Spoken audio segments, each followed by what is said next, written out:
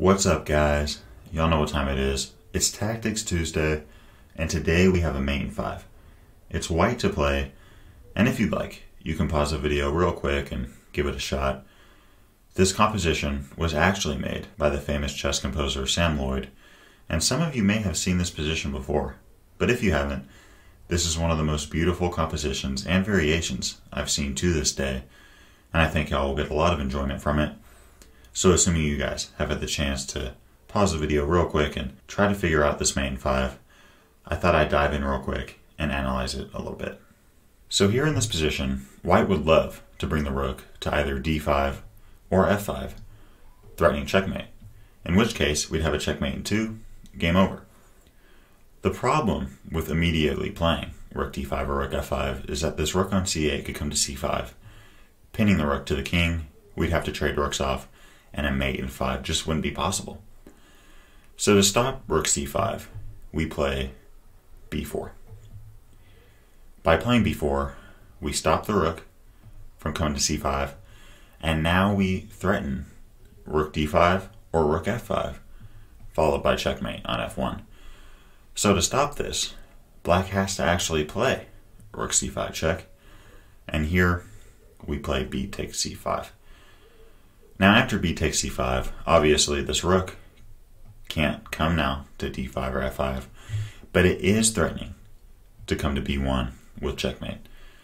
So here the only move for black is a2, stopping the checkmate.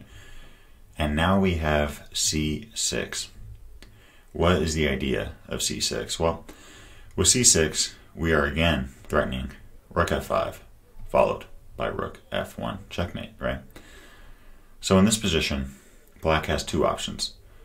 Bringing the bishop to c7 with the idea of bringing the bishop to f4 or bishop g5. If bishop g5, I mean, what's the idea here? Well, after bishop g5 and let's say rook f5, now black could play bishop f4 and now it's a mate in 6, right? However, after bishop g5, we could just play rook d5 and now this bishop cannot interfere with the rook d1. Checkmate. So that's bishop g5. The other option is bishop c7. Now again, it seems as if, at least at first sight, this bishop is about to take on g3 and then play bishop e1, making it a mate in 6.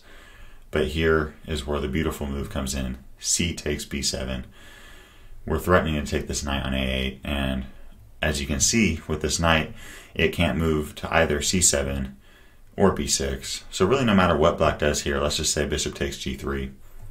Now we have b takes a equals queen or bishop, and we have checkmate. So I hope you guys enjoyed this composition by Sam Loyd. Kind of crazy to think that someone could have made a puzzle like this up. I really do appreciate the support. Feel free to subscribe and let me know what y'all thought of this video down below. And as always, wishing y'all an amazing day. Thanks for watching today's video. If you'd like to watch another one, you can click or tap up here. And I've got a lot more high quality chess content on the way. So if you'd like to subscribe, you can click or tap down here. I really appreciate your support.